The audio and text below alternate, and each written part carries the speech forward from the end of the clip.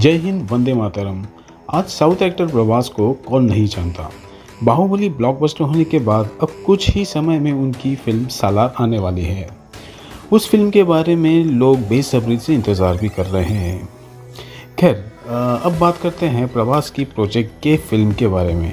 Project के ये एक साईफाई फ़िल्म है, यानी साइंस फिक्शन फ़िल्म है। शायद हिंदुस्तान में ऐसी फ़िल्म पहली बार ही बनी है।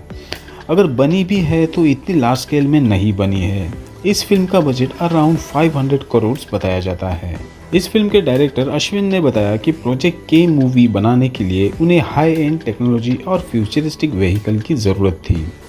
While they can be recreated by computer generated imagery that is C G I director Ashwin चाहते थे कि वो व्हीकल और टेक्नोलॉजी एकदम ऑथेंटिक और जेन्यून फील हो। उस वजह से उनकी टीम ने खुद ही वो टेक्नोलॉजी और व्हीकल डिज़ाइन की है। डायरेक्टर अश्विन ने बिजनेसमैन मिस्टर आनंद महेंद्र से टेक्निकल सपोर्ट के लिए रिक्वेस्ट की और वो मान भी गए। इस फ़िल्म के लिए फ्यूचरिस्टिक सेट खड़ा किया गया रामोजी फ़िल्म सिटी, हैदराबाद में। Project K is an upcoming Indian science fiction film written and directed by Nag Ashwin and produced by Vyjayanthi Movies the film is simultaneously shot in Telugu and Hindi language while cinematographer is Danny Sanchez Lopez. It stars Amitabh Bachchan, Prabhas, Deepika Padukone and Disha Patani.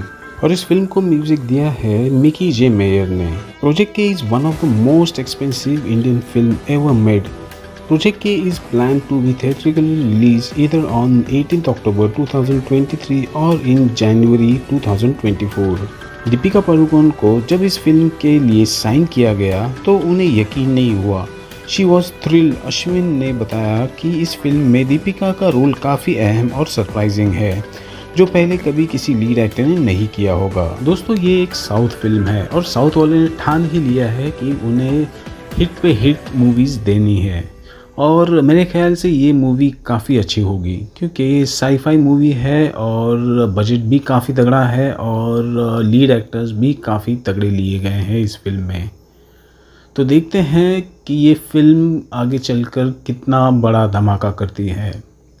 तो ठीक है दोस्तों, आपको क्या लगता है इस film के बारे में मुझे कमेंट ज़रूर करें। और दोस्तों, सब्सक्राइब कर लो यार, ताकि मुझे भी मोटिवेशन मिलता रहे और आपके लिए अच्छे अच्छे वीडियो लाता रहूँ।